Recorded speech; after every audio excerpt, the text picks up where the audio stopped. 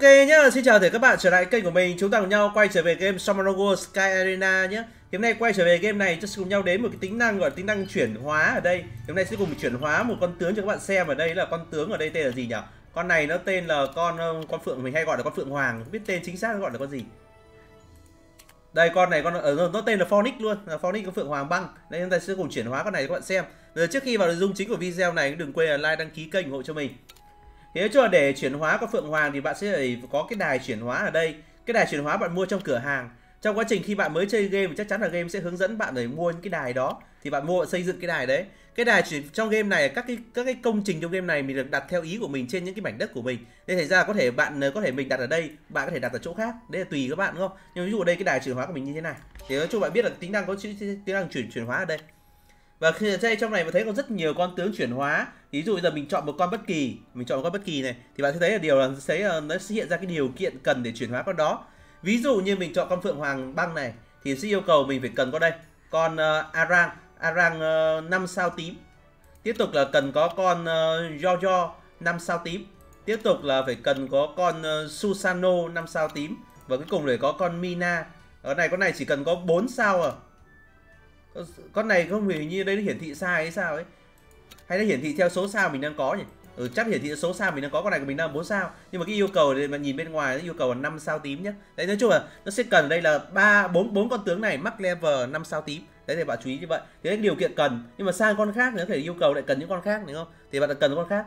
Và những con khác đây bạn thấy ví dụ ví dụ như con này chẳng hạn đi. Ví dụ con này nó cần con này không thì cái điều kiện lấy con này lại khác ví dụ chỉ xuống dưới này đây điều kiện lấy con đó. Lại cần những cái con khác nữa và những cái con tướng uh, những cái con tướng mà yêu cầu điều kiện ở dưới này hoàn toàn có thể roll ra được hoặc các sự kiện đã cho. Còn cái con tướng mà dung hợp đây bắt buộc phải dung hợp bắt buộc phải chuyển hóa mới ra được. Hiểu nôm na như vậy.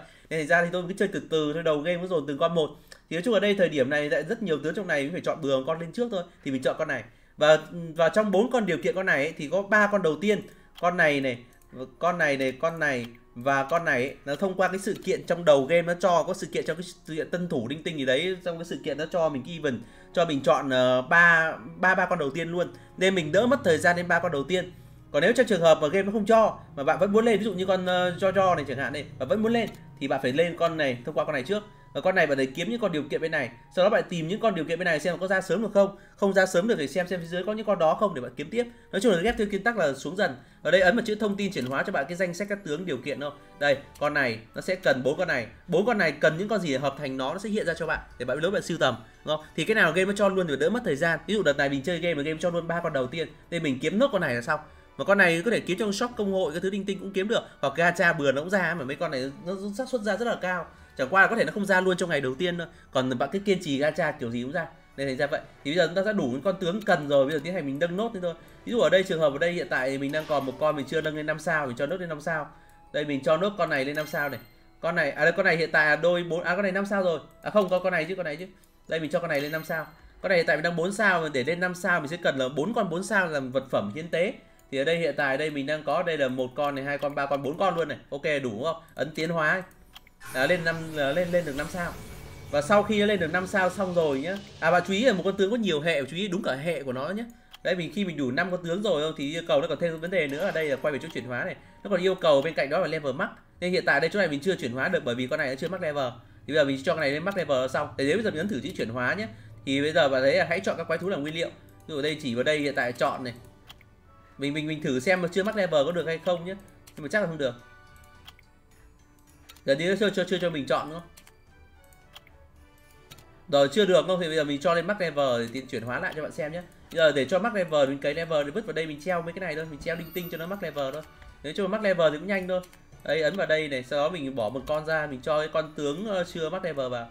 Mỗi lần bạn lên sao lại quay về level 1 nên vật việc của bạn lại tiếp tục đi cày tiếp cho lên level. Mình sẽ tua qua các đoạn ờ, nâng level này để cho các bạn xem khi chuyển hóa nó luôn. Ok nhé, hiện tại mình đã cho max level rồi, tôi sẽ quay trở về với chỗ tính năng chuyển hóa. Đây quay về chỗ chuyển hóa thì chỉ vào con chim này. Rồi bây giờ bắt đầu thì xem xem được chưa nhé. Ủa sao cái này cứ bắt mình hãy chọn quái thú làm vật liệu nhỉ?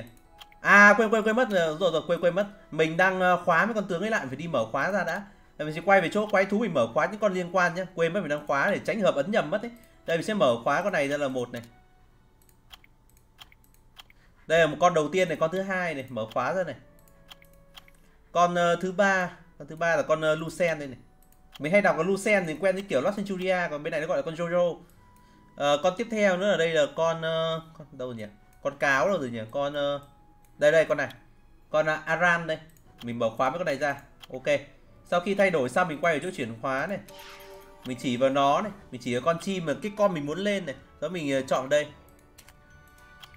What sao nó vẫn chưa cho mình chọn nữa nhỉ? Hãy chọn một quái thú là vật liệu mình chọn con này rồi mà À cái này con con này chưa đủ level. Ôi giời đậu phộng nữa. con này thì đủ rồi đúng không? Con này cũng chưa đủ level sao? Vô duyên nhỉ. Mình tưởng 35 hết rồi mình kiểm tra rằng quái thú nhá Con này là 35 này, 35 là mắc đúng không? Con này là 35. Ừ cũng mắc rồi. Tiếp tục còn con uh... Con này cũng 35, ừ mắc rồi mà. Con cuối cùng là con nào nhỉ? Đấy có con này 30 chưa mắc? Chắc nó bắt tất cả đều mắc rồi mình đi cày con đấy tiếp nhé. Mình lại cho nó vào một cái map rồi mình đánh tiếp đi.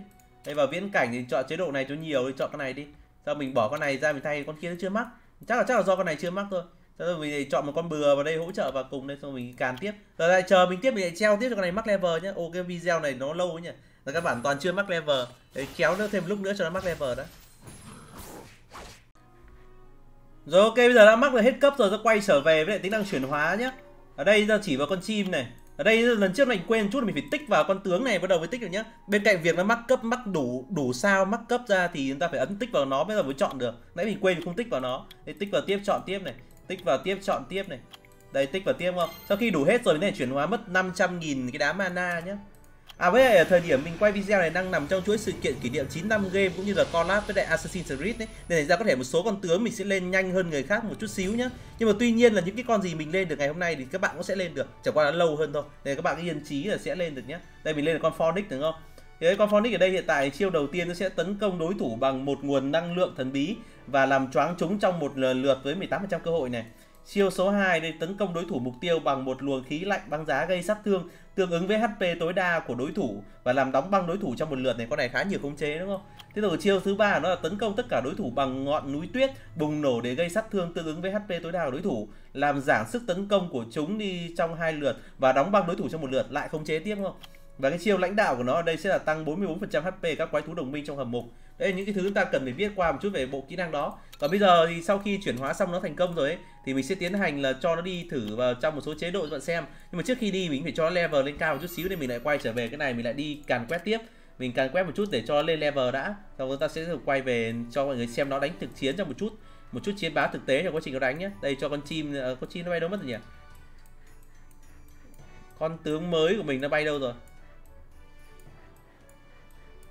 Đây là con chim đây nhá rồi, giờ mình cứ cho đi càn quét cho lên level đã xong rồi quay lại nối tiếp video các bạn xem cái đoạn tiếp theo là cái đoạn chúng ta cho nó vào thực chiến rồi ok nhá, ở thời điểm này hiện tại đây mình cũng đã tiến hành cái nâng max level việc tiến hành mình cho lên luôn 5 sao tím thì nó ok nhá. Thì để năm được uh, lên được 5 sao tím thì bạn sẽ phải hiến tế 5 con 5 sao bất kỳ. Nhưng giờ đây hiện tại mình được mấy cái cục con này tiện nhất này mấy cái này nó chả liên quan thì nó năm sao sẵn rồi. Với ta sử dụng thêm hai con cùi cùi hiện tại không dùng tới để hy sinh nó. Tất cả cái này chỉ cần level 1 là được rồi. Mình tiến hành tiến hóa lên để lên thành ờ, 6 sao. À bắt đầu nó đột phá này 6 sao này, đôi 4 6 sao, đúng không? Đấy 6 sao xong thì bắt đầu thì con tướng đấy sau khi lên được 6 sao đấy, lập tức lại quay về level 1 ta lại phải nâng level lên tiếp. Nhưng mà trước khi đi tua tiếp đoạn nâng level, ta tiếp tục quay về chỗ quái thú. Mình sẽ tiến hành là thức tỉnh con quái thú này lên thì để thức tỉnh quái thú mình sẽ cần những cái cục nguyên liệu ở tinh hoa hệ thủy cao cấp này, với tinh hoa hệ thủy trung cấp, cũng như là tinh hoa pháp thuật cao cấp và tinh hoa pháp thuật trung cấp. Mấy cái này có thể đi trong quá trình các cái hầm để có thể kiếm nó hoặc có thể mua trong shop, nhưng mua trong shop nó tốn kém, thì nói chung là nên đi farm minh tinh. Để hành thức tỉnh nó nhé thì thức tỉnh sau nó sẽ biến thành một con mới. Đây, thì mình sẽ thức tỉnh con chim này lên. Để mất công nâng nâng luôn một thể cho nó hoành tráng không? Đấy là mình thức tỉnh nó xong này, đây, thì nó biến thành một con chim mới. Con chim này tên là Simaru, đúng không? Simaru. Đấy, thì ok và khi bạn xem video của mình, có thể bạn nó cũng mới chơi lại như mình chẳng hạn đấy bạn bảo ui giời, con tướng sao trông nó khác của nhau thế? Thì bạn vào chỗ bộ siêu tập cho mình nhé có, ô, tìm kiếm để bạn gõ tên con quái thú đấy vào. Thì bạn sẽ tìm ra con đấy. Và từ con đó bắt đầu bạn sẽ từ cái con tướng đó bắt đầu mình sẽ suy ra được cái con nào con nâng cấp nó, đúng không? ví dụ ví dụ mình vào một con bất kỳ, ví dụ mình xem cái con của kia, con chim mình hệ thủy, đúng không? Đây, ví dụ mình chỉ vào con chim này, đúng không? Đây thì bạn thấy con chim này nó có cả hình thái thức tỉnh, đây cái con Simaru đấy không? Nên khi bạn vào và xem thông tin giữ xem đây có hình con Simaru không nhỉ? Ở đây xem, mình xem qua một chút xíu nhé. Ở đây mình đang tiện mình kéo luôn, mình đỡ phải gõ thôi. Còn nếu mà chơi theo kiểu gõ thì cũng được. Ở đây hình như con ở đâu, không có à? Ở đây mình thử thử gõ thử nhá. Nhưng con kia mình xem tên là gì nhỉ? Simaru ở đây S I G Maru S, đúng không? đây, tìm thử nhá. S I G này, Maru S này. Nhầm nhầm viết sai chính tả rồi. Đấy, ấn đăng này. Tìm kiếm này đấy, bạn thấy ấn vào con chim không? Thế khi mình vào con chim này rồi ấy, đấy thì mình mình khi bạn chỉ với cái avatar nó hiện ra cái hình hình ái trước nó là con phonic không? Đấy đấy là cách để ta xem video mà cho cho bạn nào mới chơi thôi, bạn nào chơi lâu chắc là biết rồi không? Nhưng ví dụ như bạn mới chơi, bạn thấy con mình có con này, nhưng bạn thấy bạn không có, nhưng mà có thể con mình đã tiến hóa rồi, đúng không? Thì bạn ấn vào đây xong bạn chỉ với cái avatar này, nó ra cái dạng cũ của nó con phonic này. Xong từ con phonic bắt đầu bạn đi xoay ngược lại xem là làm sao lên con phonic. Đấy là cách để mình có thể theo dõi nó dễ hơn. Đấy chúng ta có con tướng rồi sau khi có tướng xong rồi nên được ờ, nhiều sao hơn rồi không? Thì khi mình thức tỉnh tướng lên nó sẽ khỏe hơn nữa. Tại vì khi mình thức tỉnh lên tăng thì mình thêm tỷ lệ bạo kích này tăng chỉ số này và biến thành cái hình thức mới đúng không? Đấy thì nói chung bây giờ có thứ chỉ số tương tương đối rồi. Thì con này hiện tại đang trang bị nó một set ấn thạch ở đây mình đang sử dụng nó là set uh, set set set uh, tăng ATK và set tăng tỷ lệ bạo kích nhé thì ở đây hiện tại mình tăng ở đây thì nói chung chỉ số chưa đẹp lắm đâu thì nick mới tạo đấy đâu là đẹp. Chẳng qua đây hiện tại sau khi thức tỉnh xong cái tỷ lệ bạo kích mình đang khoảng tầm 81 phần trăm crit dam khoảng tầm 73 phần trăm chính xác thì 10 phần trăm cái kháng thì 30 phần trăm. Còn các cái chỉ số ATK đây cộng thêm bằng vài. Nói chung là tương đối thôi vì các bản nick mới tạo nên nick này không biết là chơi bao nhiêu lâu rồi. Ví dụ như mình vào trong chỗ nào mình xem thông tin nhỉ? Ví dụ mình ờ, vào trong ở à đây ví dụ mình chỉ vào đây xong mình ấn vào hồ sơ này. Đây thì hồ sơ xem qua ở đây ví dụ đây kỷ lục cái sao đây nó ghi này. Ở đây hiện tại mình đã chơi được 6 ngày đúng không? Tức là nói chung cái thời gian rất là ngắn đúng không? Thành ra mình bảo uh, ấn thạch xịn cái thứ linh tinh thì chưa có nhiều đa số dùng hàng free farm được thêm tí gì hay tí đó thôi. Rồi ok sau khi ta có tướng xong rồi thì nói chung ở đây thôi tạm thời ta phải tạm thời kết thúc ở đây. Tại vì đơn giản lúc đầu mình định cho đánh test thử một số chế độ. Nhưng mà tuy nhiên là một phần ý, chế độ dễ thì dễ quá mà cái chế độ khó khó quá. Nên hiện tại vì giống như kiểu mới chơi được khoảng tầm 6 hôm thôi mà 6 ngày cũng phải ngày nào cũng chơi đâu nhiều khi treo treo một tí thôi. Nên thành ra là nói chung cũng chưa chưa đang do đang trúng cho cái đợt sự kiện ngon thì ra là đi hơi nhanh thôi. Chứ còn kiểu tăng trưởng được nhanh thôi chứ là bản chất là sẽ chưa có nhiều chưa đủ team để chơi các cái hoạt động. Nên thì thôi tạm thời ta chấp nhận như vậy. Ở thôi giờ trước khi kết thúc lại cái video này cũng uh, hiệu triệu thêm một tí xem tình hình thế nào. Thì ở đây mình có ở đây khoảng tầm 10 bí kíp hệ phong nhé. Thử vận may chút xíu nhé. Để ta kết thúc lại video này. Xem có nổ thêm con gì mới không? Còn à, để xem sức mạnh của các con tướng thì chắc để hẹn video khác tại vì cho đủ đủ tim nữa. Đánh cái kiểu tim không đủ nó hơi bị phế phế. Bây giờ cứ cho lên dần dần cho lên level đó phát này xem có nổ được con nào xịn xịn không nào. Có vẻ không ra nổ một con 4 sao rồi. Trời ơi toàn con 3 sao thôi. Thôi phát này hỏng rồi. Không được một con nào luôn à. Ở đây phát, phát này được một con. Phát này được 4 sao tím. Ở địch bệnh lại E Ever Ờ, mình mình ờ, con này con trong Assassin's Creed này, Hình như con này mình ra được mấy con giống nhau hay sao Mình kiểm tra xem có đúng không nhé Đấy còn ờ, cách đây mấy hôm trước khi quay video mình cũng có gacha được một hai con nữa. Nhưng mình kiểm tra nhưng mình ra con đấy mấy lần, đây con này con mới nhá, con mới là con sao tím nhá. Nhưng mà trước đó, đây, trước đó mình có con này rồi không? Nói chung con này mình quay như mình có thể như mình nâng cả skill lên rồi sao ấy. Ở đâu, con này chưa. Con này trùng nữa thì hai con đều tím cả, thôi chắc đem là nguyên liệu thôi nhỉ. Hay giữ lại hai con tím để đánh còn hai con tím đánh mình chả biết dùng làm gì không. Nói chung hiện tại giờ tướng thì một số con nó ra trùng quá cũng chả bỏ chơi.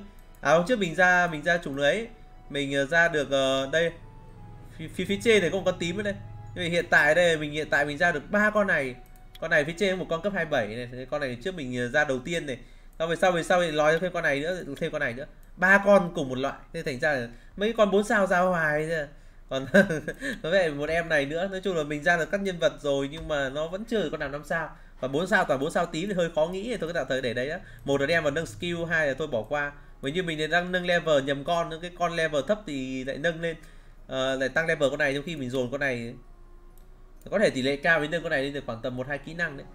Thế nhưng bây giờ mình nghĩ là chơi con này ba con cũng chả đem gì. Thì có thể sẽ nâng kỹ năng mà riêng đấy quyết quyết quyết định sau. Thì hiện tại thời điểm này mình cũng chưa chơi với con này lắm ấy rồi nên thôi, có lẽ bây giờ thôi mình kết thúc video ở đây nhé. Nói chung hôm nay khoe các bạn chút xíu là mình lên được em phượng hoàng. Em lên được em được em ờ, thành con ờ, Simaru. Còn tất nhiên là con này phát huy sức mạnh, mình cần thêm một số con hỗ trợ thêm cho nó nữa. Còn tạm thời lên là nó rồi nhờ có sự kiện của game nó rút nhanh thì mình lên được sớm thôi. Còn thôi mình kết thúc video ở đây nhé. Nếu bạn nào thấy video thú vị cho bạn thì đừng quên là like, đăng ký kênh ủng hộ cho mình. Còn thôi bây giờ mình xin chào, hẹn gặp lại các bạn trong các video lần sau. Xin chào các bạn nhé.